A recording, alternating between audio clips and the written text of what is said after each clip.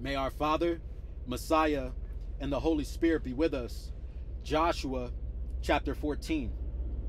These are the inheritances that the Israelites received in the land of Canaan, which the priest Eleazar and Joshua son of Nun and the heads of the families of the tribes of the Israelites distributed to them. Their inheritance was by lot, as our Father in heaven had commanded Moses for the nine and one half tribes. For Moses had given an inheritance to the two and one half tribes beyond the Jordan, but to the Levites he gave no inheritance among them. For the people of Joseph were two tribes, Manasseh and Ephraim, and no portion was given to the Levites in the land, but only towns to live in, with their pasture lands for their flocks and herds. The Israelites did as our Father in heaven commanded Moses, they allotted the land. Then the people of Judah came to Joshua at Gilgal, and Caleb, son of Jephunneh, the Kenizzite, said to him, You know what our father said to Moses, the man of God, in Kadesh Barnea concerning you and me. I was forty years old when Moses, the servant of our father, sent me from Kadesh Barnea to spy out the land, and I brought him an honest report. But my companions who went up with me made the heart of the people melt. Yet I wholeheartedly followed our father, my God. And Moses swore on that day, saying, Surely the land on which your foot has trodden shall be an inheritance for you and your children forever, because you have wholeheartedly followed your Father in heaven, my God. And now, as you see, our Father has kept me alive, as he said, these 45 years since the time that our Father spoke this word to Moses, while Israel was journeying through the wilderness. And here I am today 85 years old. I am still as strong today as I was in the day that Moses sent me. My strength now is as my strength was then, for war and for going and coming. So now give me this hill country of which our Father in heaven spoke on that day. For you heard on that day how the Anakim were there, with great fortified cities. It may be that our Father will be with me, and I shall drive them out as our Father in heaven said. Then Joshua blessed him and gave Hebron to Caleb, son of Jephunneh, for an inheritance. So Hebron became an inheritance of Caleb, son of Jephunneh, the Kenizzite, to this day, because he wholeheartedly followed our father, the God of Israel. Now the name of Hebron formerly was Kiriath Arba, this Arba was the greatest man among the Anakim, and the land had rest from war. Chapter 15 The lot for the tribe of the people of Judah according to their families reached southward to the boundary of Edom, to the wilderness of Zin at the farthest south. And their south boundary ran from the end of the Dead Sea, from the bay that faces southward. It goes southward of the ascent of Akrabim passes along to Zin and goes up south of Kadesh Barnea, along by Hezron up to Adar, makes a turn at Karka, passes along to Azmon, goes out by the Wadi of Egypt, and comes to its end at the sea. This shall be your south boundary. And the east boundary is the Dead Sea, to the mouth of the Jordan and the boundary on the north side runs from the bay of the sea at the mouth of the Jordan. And the boundary goes up to Beth Hoglah and passes along north of Beth Arabah. And the boundary goes up to the stone of Bohan, Reuben's son. And the boundary goes up to Debir from the valley of Achor, and so northward, turning toward Gilgal, which is opposite the ascent of Adumim which is on the south side of the valley. And the boundary passes along to the waters of En Shemesh and ends at En Rogel. Then the boundary goes up by the valley of the son of Hinnom at the southern slope of the Jebusites, that is Jerusalem. And the boundary goes up to the top of the mountain that lies over against the valley of Hinnom on the west, at the northern end of the valley of Rephaim then the boundary extends from the top of the mountain to the spring of the waters of Nephtoah. and from there to the towns of Mount Ephron. Then the boundary bends around to Baalah, that is Kiriath Jearim, and the boundary circles west of Baalah to Mount Seir, passes along to the northern slope of Mount Jearim, that is Chesalon, and goes down to Beth Shemesh, and passes along by Timnah. The boundary goes out to the slope of the hill north of Ekron.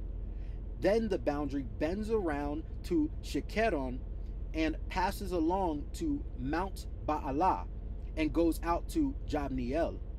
Then the boundary comes to an end at the sea. And the west boundary was the Mediterranean with its coast. This is the boundary surrounding the people of Judah according to their families. According to the commandment of our Father in heaven to Joshua, he gave to Caleb, son of Jephunneh, a portion among the people of Judah, Kiriath Arba, that is Hebron. Arba was the father of Anak. And Caleb drove out from there the three sons of Anak, Shishai, Ahiman, and Talmai, the descendants of Anak. From there he went up against the inhabitants of Debir. Now the name of Debir was formerly Kiriath Sepher. And Caleb said, Whoever attacks Kiriath Sepher and takes it, to him I will give my daughter Achsah to wife. Othniel, son of Kenaz, the brother of Caleb, took it, and he gave him his daughter Achsah as wife. When she came to him, she urged him to ask her father for a field. As she dismounted from her donkey, Caleb said to her, What do you wish? She said to him, Give me a present. Since you have set me in the land of the Negeb, give me springs of water as well. So Caleb gave her the upper springs and the lower springs. This is the inheritance of the tribe of the people of Judah according to their families. The towns belonging to the tribe of the people of Judah in the extreme south, toward the boundary of Edom, where Kabzeel, Eder, Jagur, Kinah, Dimonah, Adadah, Kadesh, Hazor, Ithnan, Ziph, Telem, Be'eloth, Hazor, Hadatah, Kerioth, Hezron, that is Hazor, Amam, Shema, Moladah, Hazar Gadah, Heshman, Beth Pelet, Hazar Shual, Beer Sheba, Biziothiah, Baalah, Ayim, Ezim, Eltolad, Chezel, Hormah, Ziklag, Madmannah, Sansannah, Lebaoth, Shilhim, Ain, and Rimmon.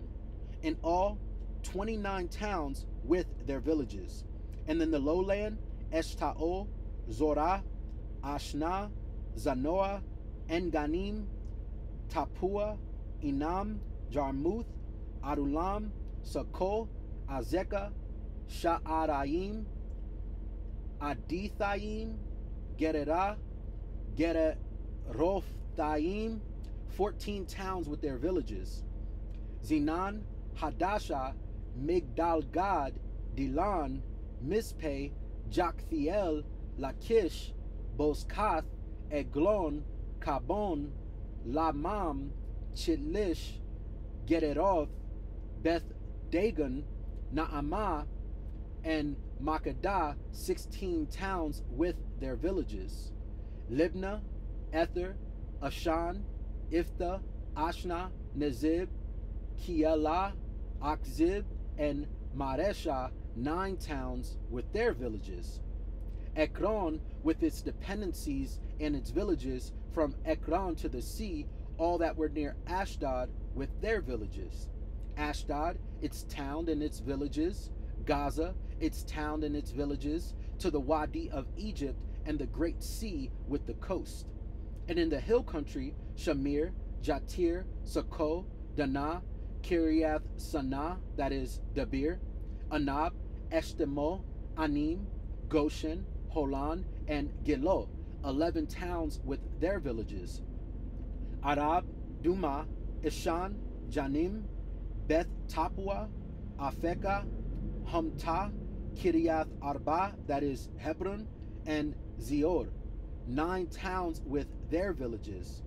Maon, Carmel, Ziph, Juttah, Jezreel, Jokdeam, Zanoah, Cain, Gibeah, and Timnah, ten towns with their villages. Halul, Beth Zur, Gidor, Ma'arath, Beth Anath, and Eltekon, six towns with their villages. Kiriath Baal, that is Kiriath Jearim, and Rabbah, two towns with their villages. In the wilderness, Beth Arabah, Medin, Sekaka, Nebshan, the city of salt, and Engedi, six towns with their villages. But the people of Judah could not drive out the Jebusites, the inhabitants of Jerusalem. So the Jebusites live with the people of Judah in Jerusalem to this day. Chapter 16 The allotment of the Josephites went from the Jordan by Jericho, east of the waters of Jericho, into the wilderness, going up from Jericho into the hill country to Bethel. Then going from Bethel to Luz, it passes along to Ataroth, the territory of the Arkites. Then it goes down westward to the territory of the Japhelite, Japhletites, as far as the territory of lower Beth Horon, then to Gezer, and it ends at the sea. The Josephites, Manasseh and Ephraim, received their inheritance. The territory of the Ephraimites by their families was as follows. The boundary of their inheritance on the east was Ataroth Adar, as far as upper Beth Horon, and the boundary goes from there to the sea. On the north is Mikmethah. Then on the east, the boundary makes a turn toward Ta'anath Shiloh and passes along beyond it on the east to Janoah. Then it goes down from Janoah to Ataroth and to Nida and touches Jericho, ending at the Jordan. From Tappuah, the boundary goes westward to the Wadi Kana and ends at the sea. Such is the inheritance of the tribe of the Ephraimites by their families, together with the towns that were set apart for the Ephraimites within the inheritance of the Manassites, all those towns with their villages. They did not, however, drive out the Canaanites who lived in Gezer. So the Canaanites have lived with Ephraim to this day, but have been made to do forced labor. 17. Then allotment was made to the tribe of Manasseh, for he was the firstborn of Joseph. To Machir, the firstborn of Manasseh, the father of Gilead, were allotted Gilead and Bashan, because he was a warrior. And allotments were made to the rest of the tribe of Manasseh by their families Abiezer, Helek, Azrael, Shechem, Hepher, and Shemida. These were the male descendants of Manasseh, son of Joseph, by their families. Now Zelophehad, son of Hepher, son of Gilead, son of Machir, son of Manasseh, had no sons, but only daughters. And these are the names of his daughters Mahlah, Noah, Hoglah, Milcah, and Tirzah. They came before the priest Eleazar and Joshua, son of Nun, and the leaders, and said, Our Father in heaven commanded Moses to give us an inheritance along with our male kin. So, according to the commandment, our Father, he gave them an inheritance among the kinsmen of their father. Thus there fell to Manasseh ten portions beside the land of Gilead and Bashan, which is on the other side of the Jordan, because the daughters of Manasseh received an inheritance along with his sons. The land of Gilead was allotted to the rest of the Manassites. The territory of Manasseh reached from Asher to Mikmethoth, which is east of Shechem. Then the boundary goes along southward to the inhabitants of En Tappuah. The land of Tappuah belonged to Manasseh, but the town of Tappuah on the boundary of Manasseh belonged to the Ephraimites. Then the boundary went down to the Wadi Kana. The towns here to the south of the Wadi among the towns of Manasseh belong to Ephraim. Then the boundary of Manasseh goes along the north side of the Wadi and ends at the sea. The land of the the land to the south is Ephraim's, and that to the north is Manasseh's, with the sea forming its boundary. On the north, Asher is reached, and on the east, Issachar.